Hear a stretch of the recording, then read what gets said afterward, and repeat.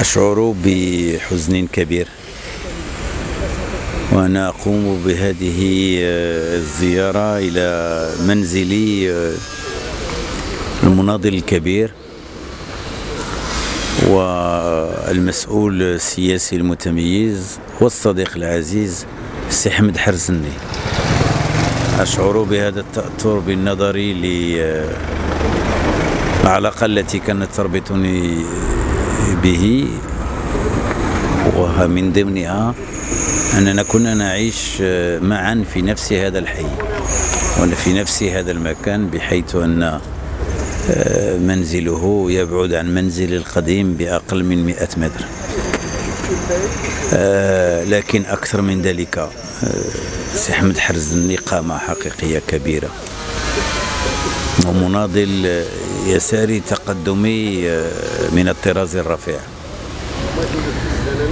ورجل عرف ما عرفه من محان وعاش سنوات طويلة في محنة الاعتقال. لكن كل ذلك لم يجعله أبدا. يقارب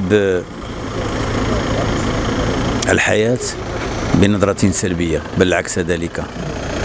كان رجل تفاؤل.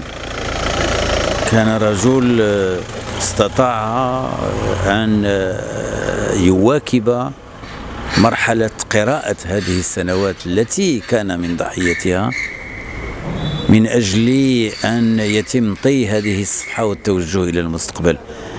وأذكر في هذا الباب مداخلاته القيمة والمتميزة عندما كانت جلسات الاستماع للإنصاف والمصالحة وكان جريئا جدا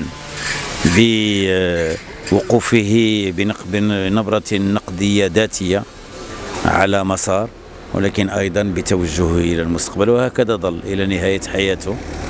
مساهما بشكل إيجابي في كل ما يمكن أن يقدم مسار الديمقراطة وخدمة حقوق الإنسان وتوسيع الحريات وظل متشبتا بوطنه بمغربه وكان كانت له أدوار إيجابية بكثير من التواضع. وهكذا كان سي أحمد حرزني مثال حقيقة قدوة بالنسبة لأجيال من المناضلات والمناضلين.